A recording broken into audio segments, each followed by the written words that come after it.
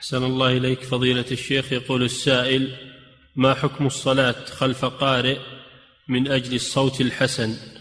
إنما أن تدخل في أمور الناس وش يدريك أنه من أجل الصوت الحسن ومن أجل؟